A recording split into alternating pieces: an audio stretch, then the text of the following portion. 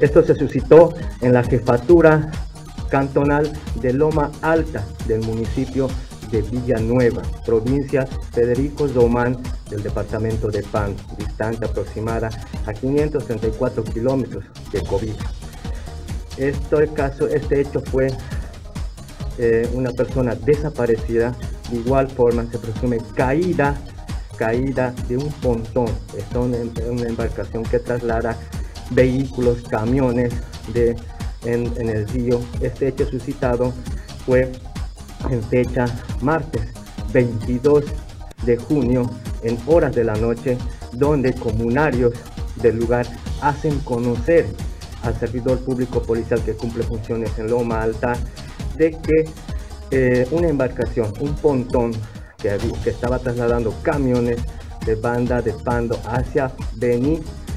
toman conocimiento de que uno de sus ayudantes no se encontraba en el lugar. Era ya aproximadamente 20 horas de la noche.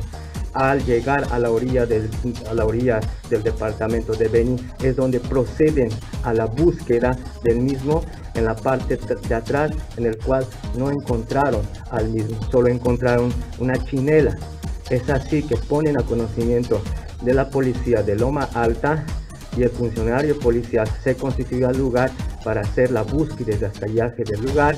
Es donde que se encontraba en la altura del río eh, flotando una linterna que era propiedad de este individuo de nombre Milton González Cerato. También tenemos lo que es también suscitado en la jefatura de Loma Alta en, la comunidad de Loma Alta del municipio de Villanueva. Este hecho fue suscitado este sábado 25 de junio en horas de la tarde es donde toma conocimiento la jefatura policial de Loma Alta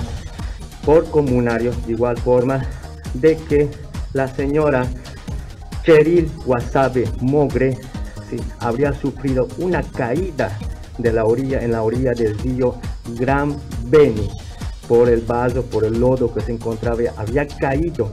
al río, es ahí que ella se ahoga, se ahoga por sumersión, es decir, por asfixia respiratoria del líquido agua,